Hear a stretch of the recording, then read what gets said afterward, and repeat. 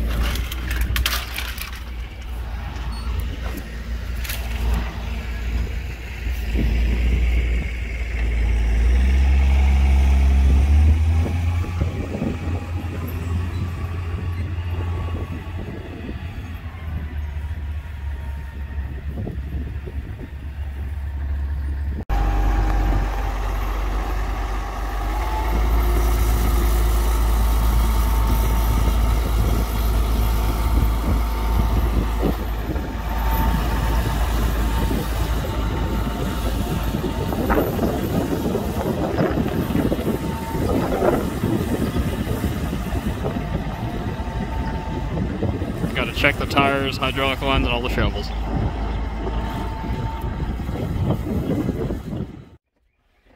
Alright, just getting done. Replacing shovels on the cultivator.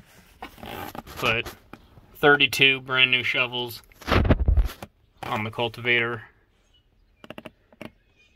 Took about four hours. Not too hard, just tedious. We're gonna go ahead and uh, start the New Holland up.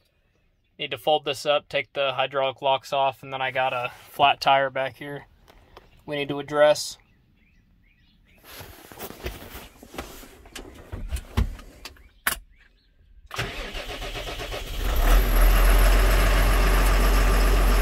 Let it warm up for a minute and then we'll get it folded up.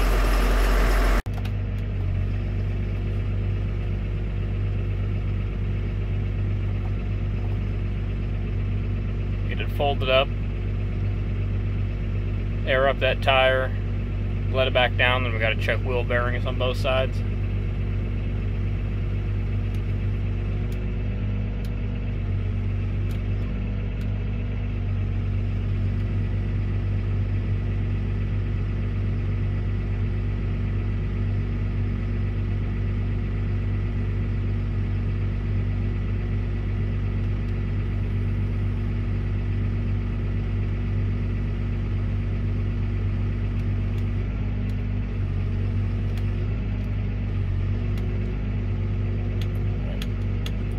Go.